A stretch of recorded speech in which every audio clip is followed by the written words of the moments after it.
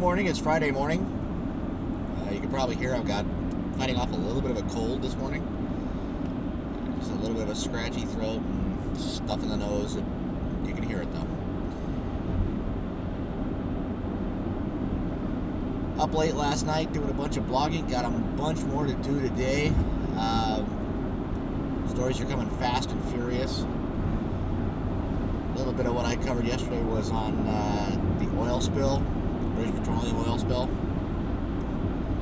Deepwater Horizon rig that sank, that oil rig, or that oil uh, spill now, the slick is now just offshore Louisiana, uh, Point Fourchon and uh, Venice, Louisiana.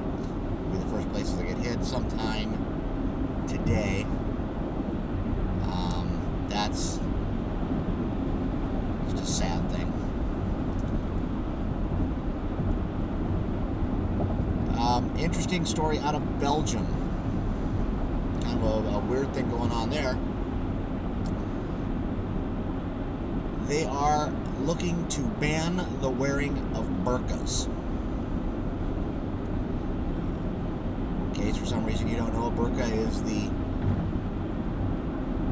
uh, all over body covering that women are required to wear in, you know, in some Muslim countries, required by some aspects of the of the Muslim faith. Um, this goes beyond just covering the face with a veil or covering the hair. This covers the entire body.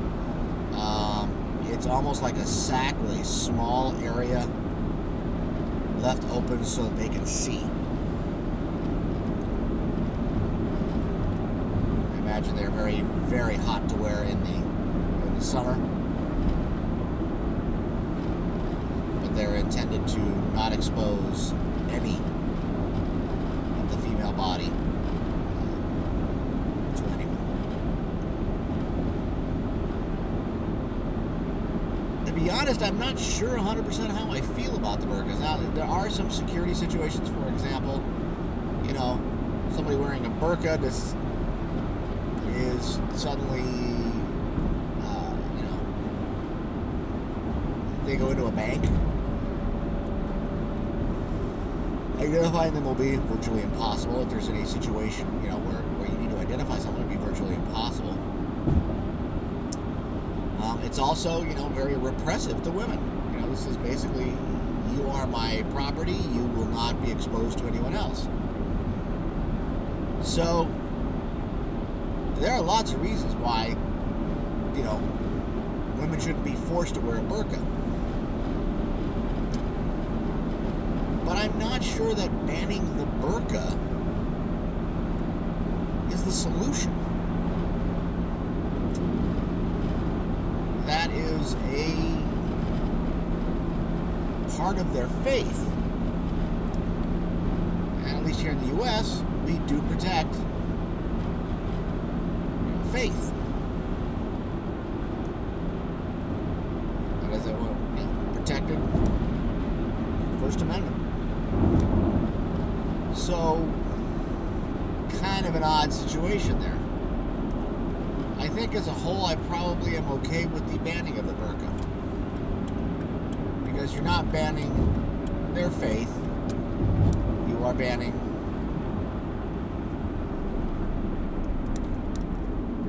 a mode of dress. I, I, you know, I can think I could probably argue either way on this one. I think I would probably side with. I don't know. See, I don't know about everything. It's one of those fence things. I.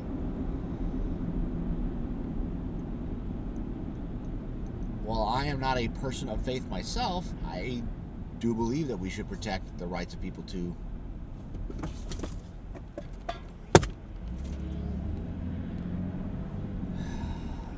Sorry, just got cut off.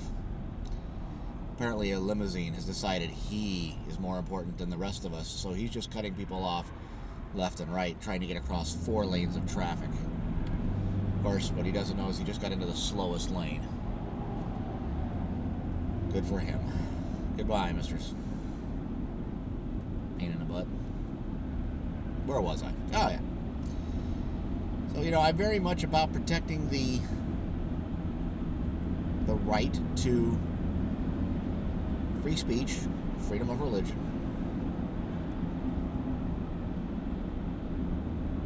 And if you ban the burqa, you are infringing upon that particular religion, that particular um, sect. So, on those grounds, I don't know that I would allow. I would want a ban on it, but I can understand where the, the you know where the point comes from, both on a civil rights issue, in, in that uh, this is you know controlling the woman, um, and on security issue. Let me know what you think about it. And keep in mind, this hasn't passed in Belgium yet. it's passed their House, but their Senate has not passed yet. Um, apparently, there was an issue last night where I think it's the Prime Minister has resigned, and because of that, it kind of broke up the government a little bit. And until that gets resolved, it's it's you know, curious as to whether it's going to get signed. France is also looking at banning the burqas. Um, let me know what you think. It's uh, that's one of those gray area issues that I'm not sure I I quite decided on where I stand yet. I, I'm vacillating. So if you've got a good argument either way, let me hear it. Uh, post it in the comments. I'm really interested to see where people think on this one. All right, well, uh, that's uh, that's my rant for this morning. So happy Friday hopefully you have a good weekend. We'll talk to you later.